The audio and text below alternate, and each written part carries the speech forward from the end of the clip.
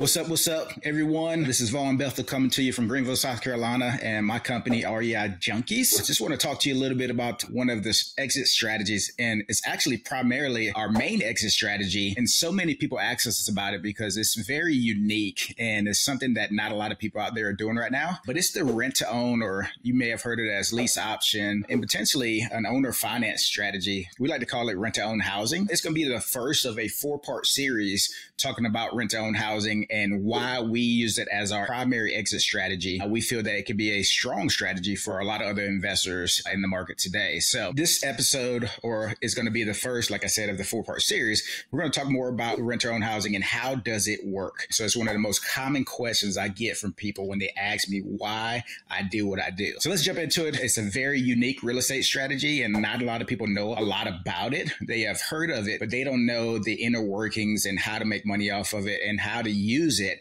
as a long term strategy. We're also going to do a little overview of what rent to own housing entails and the growing popularity in the real estate market over the course of these next four episodes. So, what is rent to own housing? Rent to own housing is an agreement that combines a lease with the option to buy a home. So when you're talking about people coming in and as investors, we purchase properties and usually we're buying and holding those properties as rentals or long-term rentals and just bringing a tenant in to pay a monthly rent or we're flipping that property for quick cash. Well, we want to combine the two, the best of both worlds and create a rent to own housing market that also helps provide a pathway to home ownership. So that's how we originally got into rent to own housing is to figure out what is the biggest impact that we can have in our community. The next thing we're going to talk about is the lease period. So in rent to own housing, a tenant or tenant buyer is what we call them.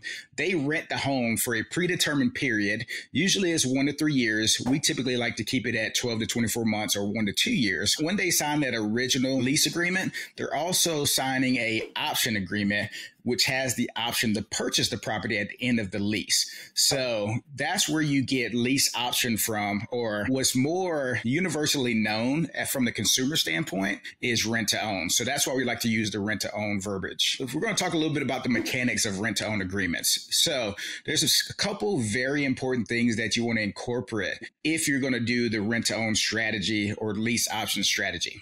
And the, one of the very first things that you want to make sure you have dialed in is your agreements. So talking about the mechanics of rent own agreements. In your agreement, the tenant signs a lease agreement to rent the property first, right? At the same time that they're signing that lease agreement to rent the property, the tenant is also going to sign a separate agreement with an option to purchase the property or option to buy the property as well. So you want to make sure that you have two separate agreements, the lease agreement and then the option agreement. Also in that lease agreement, you want to make sure that you clearly define the period of that agreement. And what I mean by the period is, is it going to be one years, two years, or three years? I've seen some people do it up to five years, but you want to make sure that you have that clearly defined in your agreement. And then the other thing that you want to make sure is clearly defined in that rental agreement or the option agreement is, is there going to be a part of the monthly rent that is going to contribute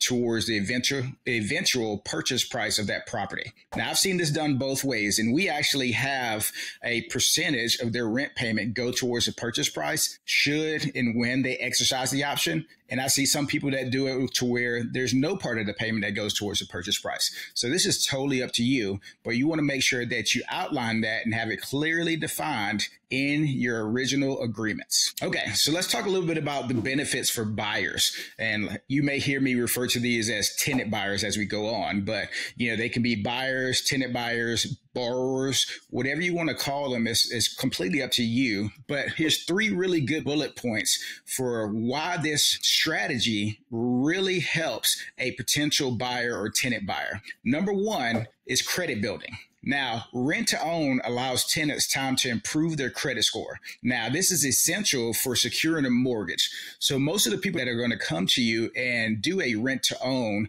agreement probably has some type of thing that's affecting their credit or affecting their purchasing power when they go to a traditional bank. So putting them in a lease agreement for 12, 24, 36 months gives them time to improve their credit. And that's a very important thing. So when they do go for traditional financing, they can get approved and get a better rate. The second biggest benefit for buyers is it allows them time to save towards the purchase of the property. So a portion, like we mentioned before, a portion of each rent payment is often set aside as a credit towards the future purchase of the home. Now, some of our tenant buyers, actually all of our tenant buyers, we require a pretty significant option fee or down payment, but we also give credit of each monthly payment towards the purchase of the home. So they're building equity should they decide to purchase that home at the end of the option period.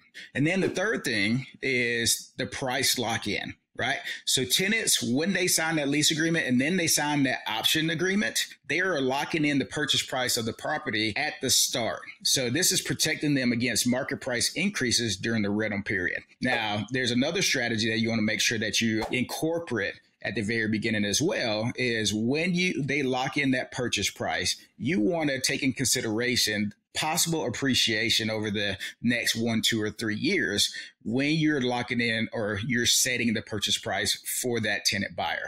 So let's talk about some of the advantages when it comes to sellers or us as investors, right? So by doing the rent to own strategy rather than just having a rental, rent to own agreements typically attract tenants who are more likely to take better care of the property because they're going to have some pride of ownership because they're viewing this as a potential future home. And we want them to progress and exercise that option. So we get a lot better quality tenants when we do rent to own housing or rent to own as an exit strategy.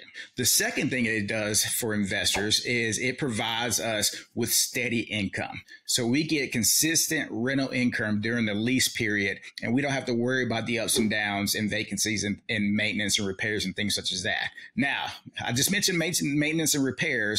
There is a strategy that we write into our agreements, and I'm going to talk about that in a later episode. But you can do a rent to own agreement where you're not having to manage or pay for the smaller maintenance and repairs that comes with homeownership. And then the third biggest advantage for investors or sellers is the ease of sale, right? So as a flipper and we're putting a house on the market, that house could potentially sit there for a while.